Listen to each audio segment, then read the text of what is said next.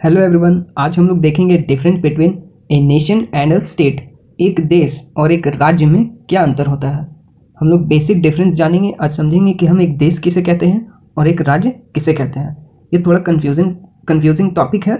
इसमें काफ़ी बार प्रॉब्लम आती है। तो साइंस के स्टूडेंट इंटरनेशनल रिलेशन के स्टूडेंट जो भी हैं, उन्हें ये अच्छे से मालूम होगा कि हम एक देश को, एक कंट्री को स्टेट कहते हैं। अपने सिलेबस अपने एकेडमिक रूल के हिसाब से हम लोग एक स्टेट कहते हैं किसी भी कंट्री को या देश को।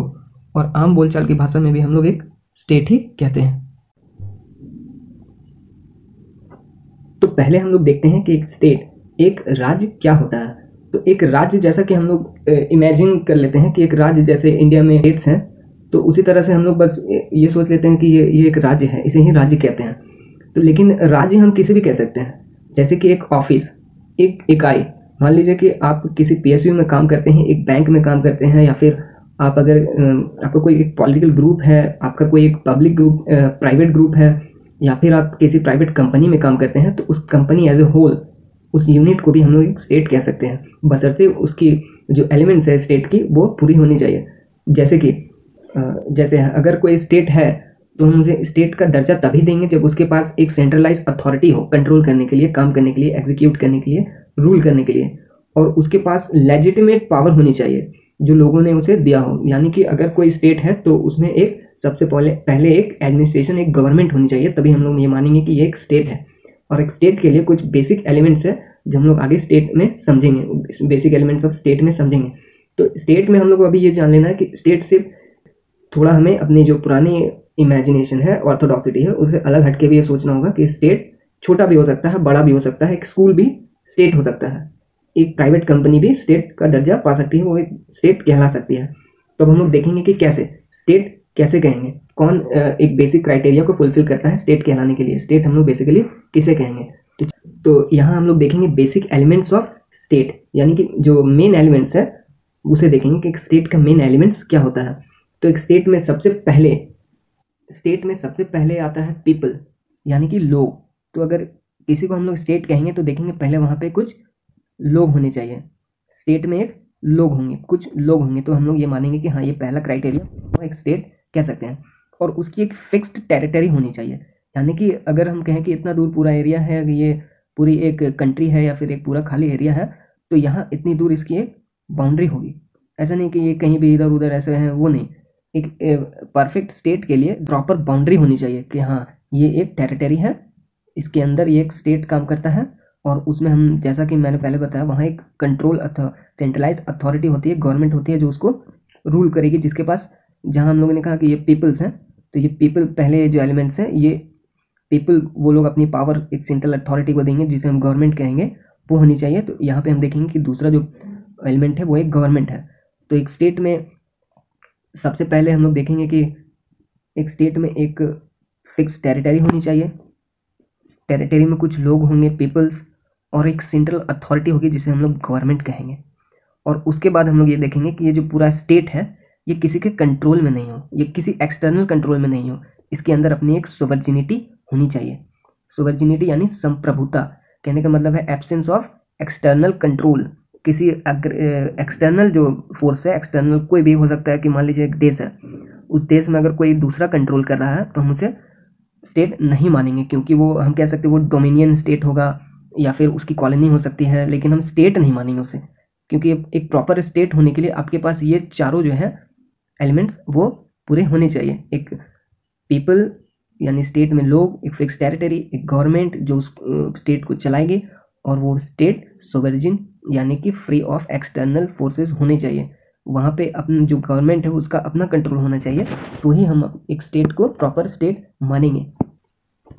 अब हम लोग देखेंगे कि एक नेशन यानी एक देश, ये किसे कहते हैं? तो स्टेट तो हम लोग समझ गए कि एक फिक्स टेरिटरी होगी, उसमें कुछ लोग होंगे, उसकी एक सेंट्रलाइज अथॉरिटी होगी, जिसे हम गवर्नमेंट कहेंगे, और वो सोवर्जिन होना चाहिए, यानी कि उसमें उन लोगों का ही, उनके द्वारा जो फॉर्म जो गवर्नमेंट है, उसका ही रूल होना चाहिए। तो हम उसे एक स्टेट कहेंगे।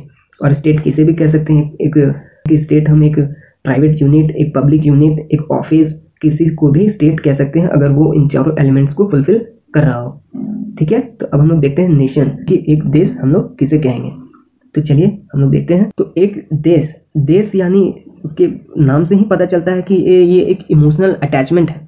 यहाँ आप बेसिक जो स्ट्रक्चर है, उसका, उससे ज़्यादा आप इमोशनल स्ट्रक्चर पे इम्फेसाइज करते हैं।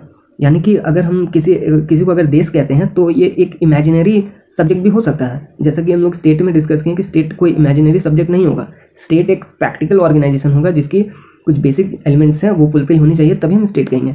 लेकिन नेशन में ऐसा नहीं है। नेशन में अगर हम इमेजिनेश इमोशनल स्ट्रक्चर पे भी नेशन कह सकते हैं। जैसा कि हम लोग देखते हैं अनडिवाइडेड इंडिया जब इंडिया में ब्रिटिश राज था, या फिर उससे भी पहले हम लोग भारत कहते थे इंडिया मतलब लेकिन इंडिया की कोई फिक्स टेरिटरी ऐसा नहीं मानते थे कि यहाँ से यहाँ तक इंडिया है और इंडिया में ऐसे ऐसे लोग हैं, इतनी एथनिसिटी है और ऐसे इतने सारे गवर्नमेंट जैसे कि कंट्रोल करते हैं। जैसा कि हमने अलग अलग टाइम में अलग अलग गवर्नमेंट इंडिया में इस्टेब्लिश हुए, उन्होंने अपना रूल किया इंडिया पे।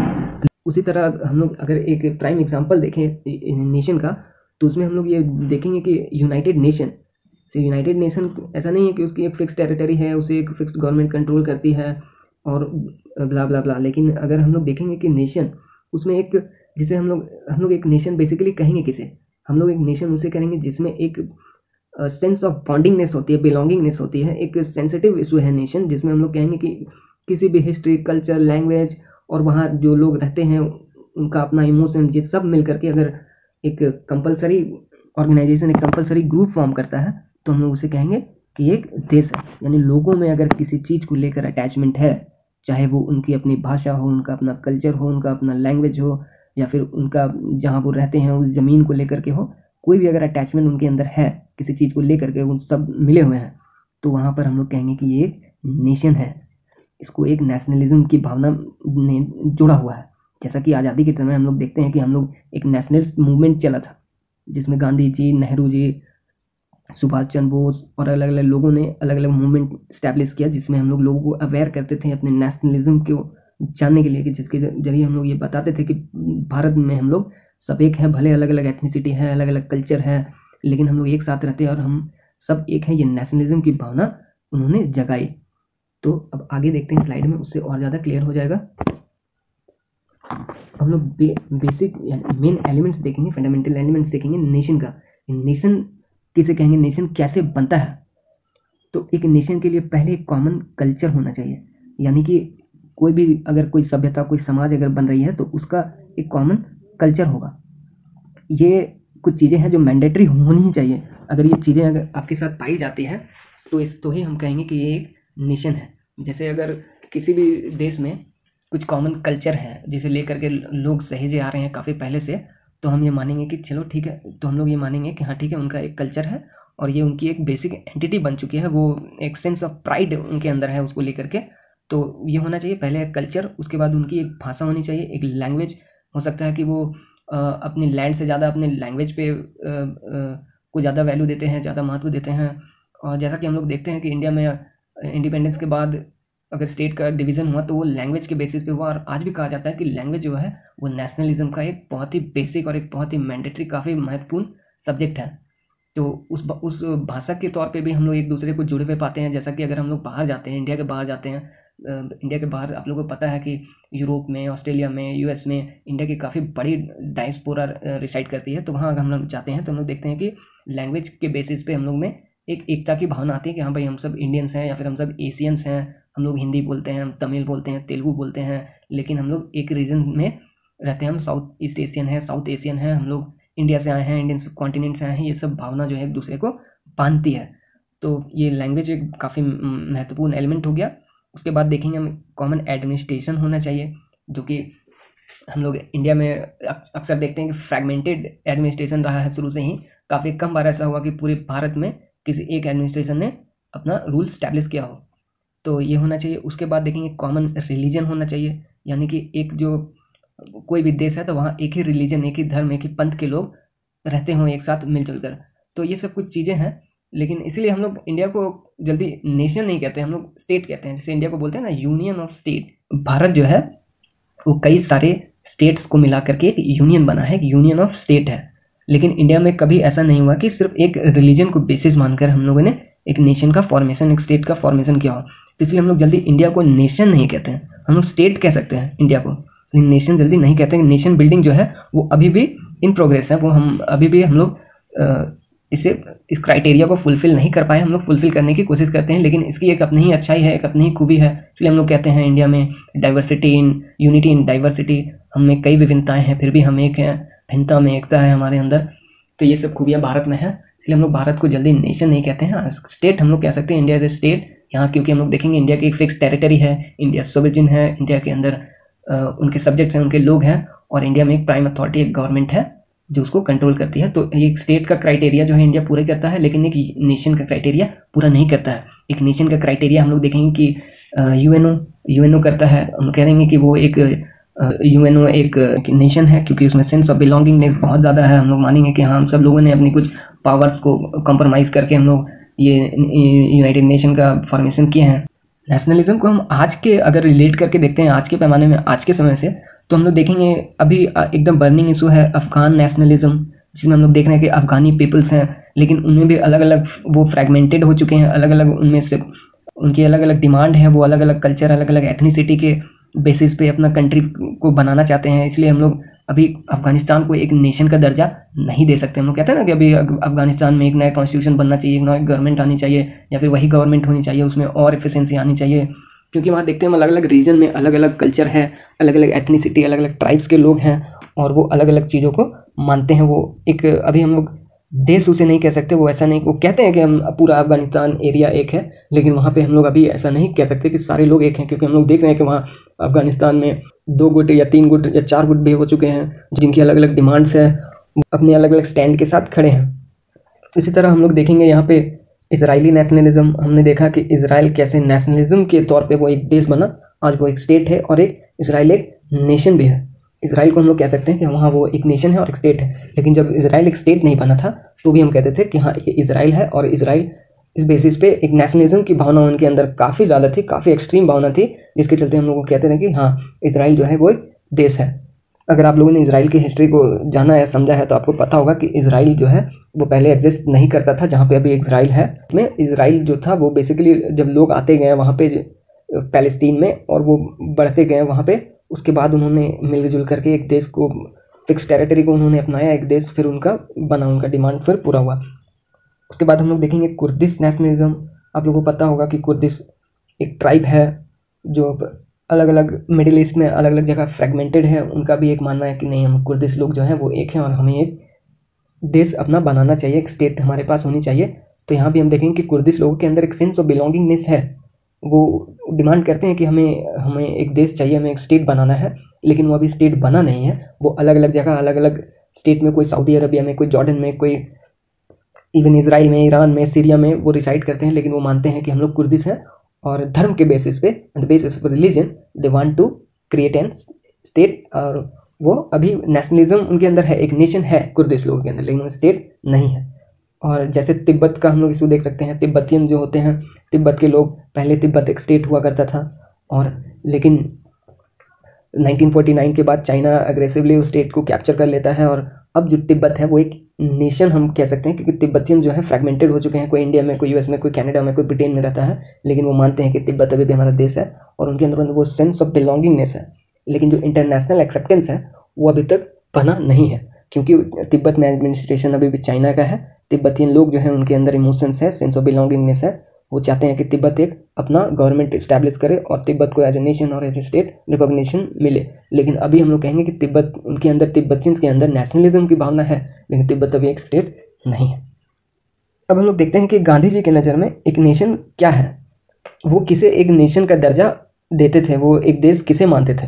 अकॉर्डिंग टू गांधी जी गांधी जी कहते थे कि वो एक देश वही होगा जहाँ पे एक लोग होंगे।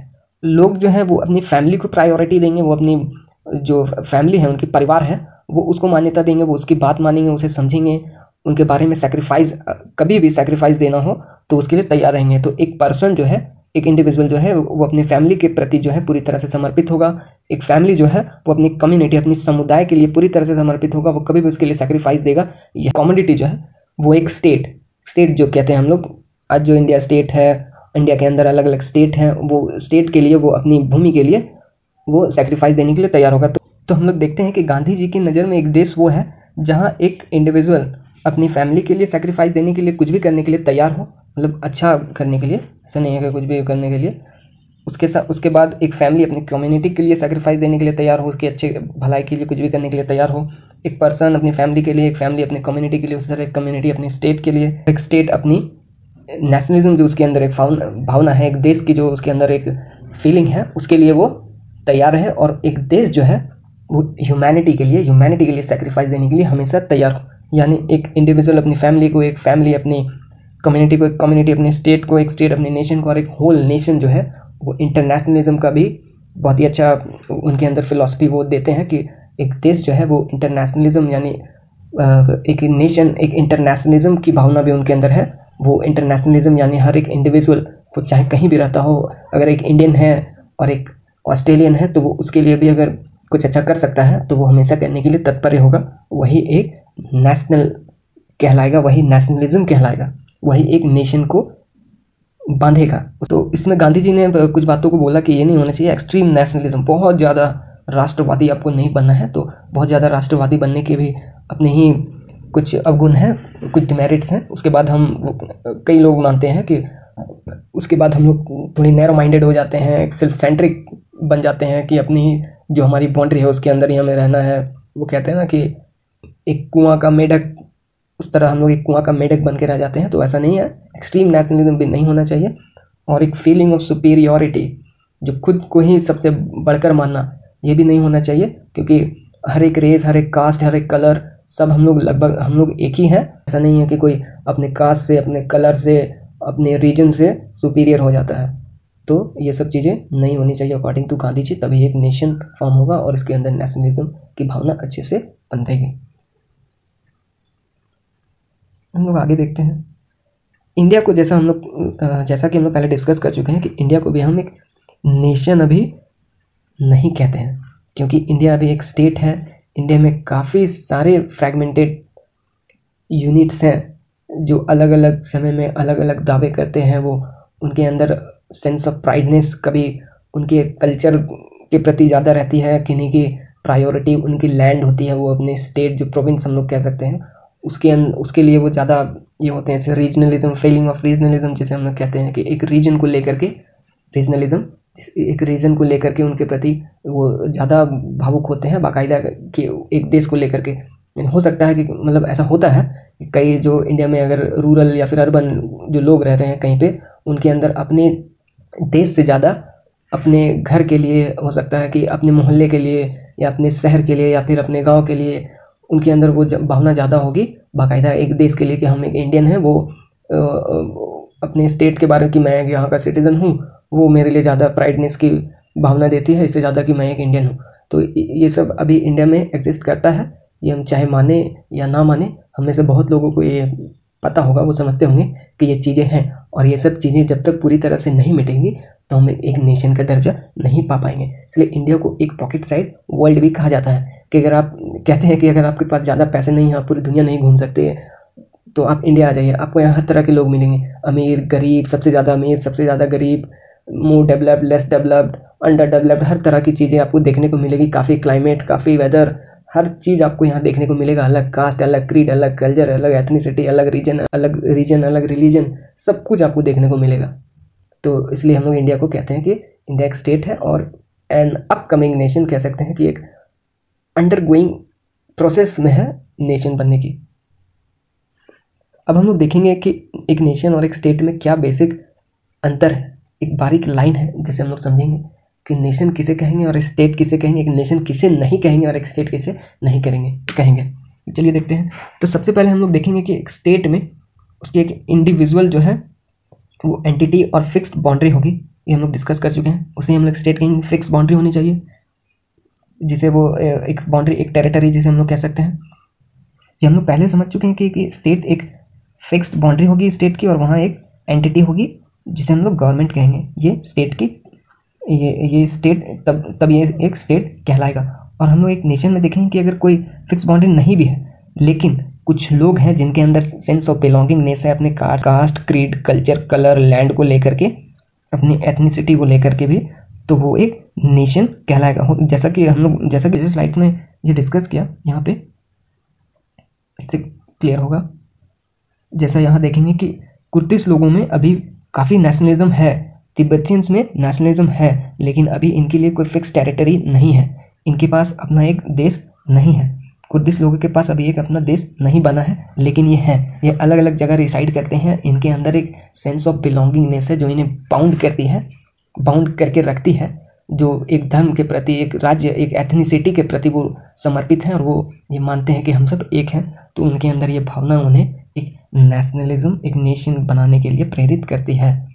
तो वो एक नेशन हम लोग देखेंगे स्टेट में एक टेरिटरी को हम लोग स्टेट कह सकते हैं कि एक टेरिटरी है। जैसा कि मैंने बताया, अगर आपके पास एक फिक्स बाउंड्री है, उसमें सेंट्रल अथॉरिटी है तो हम लोग ये मान लेंगे कि ये एक स्टेट है। लेकिन अगर आपके पास कोई स्टेट नहीं फिक्स बाउंड्री नहीं है, बस आपके पास लोग हैं। यहाँ ऐसे, वो लोग हैं और उनके उनके अंदर बाउंडिंग है किसी चीज़ को लेकर के। आप समझ रहे हैं? अगर उनके अंदर किसी भी चीज़ को, अपने कल्चर को, अपने लैंड को अपनी एथनिसिटी को अपनी ओरिजिन प्लेस को लेकर के अगर उन, उनके अंदर एक बॉन्डिंग है तो हम कहेंगे कि ये एक नेशन है ठीक है? तो ये फिक्स टेरिटरी है। यहाँ पे फिक्स टेरिटरी होना ज़रूरी नहीं है बस लोग होने चाहिए उनके अंदर सेंस ऑफ़ बिलोंगिंगनेस बाउंडिंगनेस होनी चाहिए। फिर देखेंगे कि पॉलिटिकल और एक लीगल एंटिटी होनी चाहिए एक स्टेट के लिए। लेकिन यहाँ पर हम लोग देखेंगे सोशियो एंड कल्चरल एंटिटी होनी चाहिए।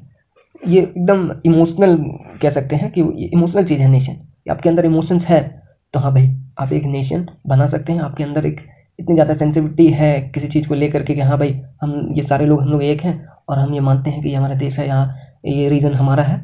तो हम कहेंगे कि हाँ इनके अंदर एक नेशनलिज्म की भावना है, ये एक नेशन है। इसी तरह हम लोग स्टेट में देखेंगे कि कॉन्शियसली काफ़ी कॉन्शियस वे में ये बनाया जाता है, समझ करके काफ़ी तैयारी के साथ हम लोग स्टेट बनाते हैं। लेकिन नेशन के लिए ऐसा नहीं है। नेशन हम पूरी तरह कॉन्सियस होकर के नहीं इमोशनल अटैचमेंट के साथ बना सकते हैं। तो यहाँ कॉन्सियसली बनेगा, यहाँ इमोशनली भी बन सकता है। स्टेट कॉन्सियसली बनेगा, लेकिन नेशन इमोशनली बनेगा। फिर हम लोग देखेंगे कि जो है स्टेट जो है नॉन स्टेबल इन नेचर हो सकता है। इंडिया में रहते हैं तो हमें पता ही है कि India in a state of indestructive union with destructive state यानी स्टेट को कभी भी हम लोग तोड़ मरोड़ सकते हैं, छोटा बड़ा साइज़ में टेरिटरी उसकी फिक्स कर सकते हैं। कभी छोटा होगा, कभी बड़ा होगा, उत्तर प्रदेश, बिहार, झारखंड बंगाल, अभी बंगाल को बात किया जा रहा है कि बंगाल का बाइफर, बाइफर्केशन होगा। जैसा कि हम लोग जम्मू और कश्मीर का बाइफर्केशन देख चुके हैं। जम्मू और कश्मीर जो पहले एक टेरिटरी थी, एक स्टेट थी, अब वो दो अलग अलग हिस्सों में बढ़ चुके हैं। जम्मू एक अलग यूनियन टेरिटरी बन चुके हैं स्टेट एक माफ़ कीजिएगा, लद्दाख एक अलग यूनियन टेरिटरी बन चुका है। तो वो कभी स्टेबल उतना ज़्यादा नहीं रहता जितना स्टेबल एक नेशन रहता है। नेशन इज़ मोर स्टेबल ठीक फिर हम लोग देखेंगे कि जो स्टेट है वो बिना सोवर्जिनिटी बिना संप्रभुता के वो एग्जिस्ट नहीं कर सकते। अगर एक स्टेट है तो वहाँ एक सेंट्रल अथॉरिटी होगी ही होगी। अगर कोई सेंट्रल अथॉरिटी उन्हें गाइड नहीं कर रहा कंट्रोल नहीं कर रहा है तो वो एक स्टेट नहीं हो सकता। है बेसिकली एक स्टेट फॉर्म होगा, तभी जब आपके पास एक कंट्रोल अथॉरिटी होगा। जैसा कि आप लोग इमेजिन कीजिए कि एक छोटा पीएसयू एक छोटा ऑफ़िस है। वहाँ अगर आपके बॉस नहीं है, वहाँ कोई बॉस नहीं है, कोई एडमिनिस्ट्रेटिव यूनिट नहीं है तो वो ऑफ़िस एग्जिस्ट कर ही नहीं सकता। वहाँ बस भीड़ होगी। लोग होंगे, क्या करना है, नहीं करना है, कोई गाइडेंस नहीं होगा। तो वो उस मैनर में हम ये नहीं कह सकते, वो एक स्टेट है। स्टेट तब होगा जब वहाँ एक एडमिनिस्ट्रेशन होगी, एक सेंट्रल अथॉरिटी होगी। तभी हम कहेंगे कि वो एक स्टेट है और वो स्टेट जो होगा वो सवर्जिनिटी फॉलो करेगा। वहाँ पे जो है, वो संप्रभु होगा। किसी बाहर के कंट्रोल में वो नहीं होगा, तभी वो एक स्टेट हम लोग कह सकते हैं होगा। और जो एक नेशन है, वहाँ सोवर्जिनिटी की ज़रूरत नहीं है, क्योंकि वो अभी भी आप क्या हम लोग कहेंगे कि वो एक बिल्डिंग फ़ेज़ में है। वहाँ सोवर्जिनिटी नहीं है, लेकिन उनके अंदर एक इमोशनल अटैचमेंट है, जो उन्हें एक नेशन फॉर्म करने के लिए प्रेरित कर रही है, मदद कर रही है। तो उस बेसिस पे हम लोग कहेंगे कि एक नेशन है। अगर वहाँ पे कोई सेंट्रल अथॉरिटी उन्हें गाइड नहीं कर रही है तो भी। एकदम बेसिक आप एग्जांपल लीजिए और रिलेट करिए, तिब्बतियन, कुर्देश, अभी जो अफगान में हो रहा है, उन सब चीज़ों को लेकर के, या फिर इंडिया बिफोर इंडिपेंडेंस में अगर आप जाइएगा तो भी लगेगा कि हाँ ये सब है। तो वो चीज़ें मिल करके सेंस ऑफ़ बिलोंगिंगनेस मिल करके एक नेशन बनाती है और एक फिक्स टेरिटरी होगी तो ही एक स्टेट बनेगा। तो एक स्टेट में फिर देखेंगे कि लॉ और रेगुलेशन होने चाहिए, उनके अपने लॉज होंगे रेगुलेशंस होंगे, लेकिन जो है वो एक नेशन में कुछ ज़रूरी नहीं है कि कुछ कुछ रेगुलेशंस होंगे, कुछ लॉज होंगे, ये ज़रूरी नहीं है। एक नेशन में बस बॉन्ड होना चाहिए, उनकी हिस्ट्री उनके कल्चर को लेकर के, वो जैसा ब्रिटेन में कहते हैं ना कि ब्रिटेन में कोई रिटर्न लॉ नहीं है। उनका कोई रिटर्न कॉन्स्टिट्यूशन है नहीं एग्जिस्ट नहीं करता थोड़ा मोड़ा है, बाकी वो सब जो है, वो इनहेरिटेड है उनके अंदर। उनका जो सेड हिस्ट्री है, उनका जो कल्चर है, वो उसमें मिक्सड हो चुका है। तो हम लोग ये कहते हैं कि ब्रिटेन में जो है, वो सेल्फ गाइडेंस है। वो खुद ही अपने कल्चर के हिसाब से खुद को गाइड करते हैं कंट्रोल करते हैं, और वो अब लीगल हो चुका है। वो उसी को अपना लॉ मानते हैं। उसमें कोई लिखा हुआ रिटर्न हमारे जैसा नहीं है कि ये है ये है, ये चीज़ें आपको करनी है क्यों करनी है? हमारे कॉन्स्टिट्यूशन में नहीं लिखा है तो मैं नहीं करूँगा, ऐसा नहीं है। वहाँ पे उन लोगों ने इनहेरिटेड उनके अंदर हो चुका है। तो हम लोग कहते हैं ना कि ब्रिटेन एक नेशन है। इंग्लैंड बेसिकली इंग्लैंड एक नेशन है। ब्रिटेन ग्रेट ब्रिटेन वो अलग कॉन्सेप्ट है। वहाँ नॉर्दर्न आइलैंड वेल्स ये सब, हो सकता है कि उनके अंदर वो अभी सेंस ऑफ़ बिलोंगिंगनेस पूरी तरह से नहीं हो। वो अपने रीजन के प्रति ज़्यादा समर्पित है। लेकिन हम लोग इंग्लैंड को कहेंगे कि हाँ इंग्लैंड जो है, वो उनकी एक, वो नेशन है। तो आई होप आप लोग अच्छे से समझ चुके होंगे कि एक स्टेट और एक नेशन क्या होता है। एक बार फिर से हम लोग देख लेंगे कि एक स्टेट और नेशन क्या होता है, एक रिवीजन क्विक रिवीजन देखते हैं। तो हम लोग देखेंगे कि एक स्टेट है, इसमें एक फिक्स टेरिटरी होगी, एक कंट्रोल अथॉरिटी सेंट्रलाइज अथॉरिटी होगी पीपल्स होंगे, और वहाँ एक्सटर्नल एग्रेशन नहीं होगा, उनके अंदर सोवर वहाँ सोवर्जिनिटी होगी। तो हम कहेंगे कि ये एक स्टेट है, लेकिन नेशन में हम देखेंगे कि अगर कोई फिक्स टेरिटरी नहीं है, वहाँ पर लोग होने चाहिए। हो सकता है कि वो अलग अलग एरिया में अलग अलग कंट्री में हो, लेकिन उनके अंदर एक शेयर्ड कॉमन कल्चर होनी चाहिए। उनके अंदर सेंस ऑफ़ बिलोंगिंगनेस होनी चाहिए, तब हम कहेंगे कि ये नेशन है। नेशन बेसिकली एक इमोशनल इशू है और स्टेट एक कॉन्शियस इशू है। तो आई होप आप लोग अच्छे से अब समझ चुके होंगे। इस वीडियो को देखने के लिए थैंक यू अगर आपको ये वीडियो अच्छा लगा हो तो प्लीज़ लाइक शेयर और सब्सक्राइब करिए। Thank you